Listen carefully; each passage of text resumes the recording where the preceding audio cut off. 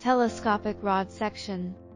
Tail rod, with spring-loaded base, arbitrary telescopic rod section, and floor skid face. Top ceiling skid plate. Height adjustable bracket, with 1 quarter, minus 20 mil thread, 5 8 minus 11 screw adapter 5 8 Adjustable stable tripod. Open the three latches of the tripod, pull out the extension rod, and relock the latches. Pass the tail rod through the hole in the middle of the bottom of the tripod. Pass one of the telescopic rod section through the hole of the height adjustable bracket. Pull and lock the trigger in the height adjustable bracket. Take one of the telescopic rod section to assemble the top fittings together.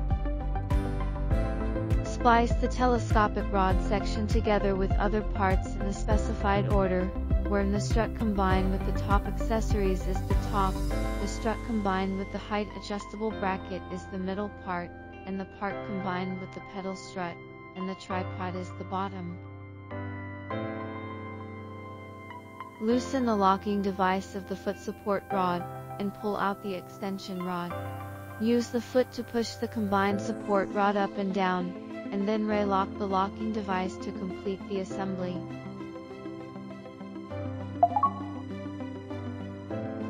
Install the level on the height adjustable bracket, according to the bottom screw port of the level and the adapter. Turn on the laser level, and project the laser line on the wall.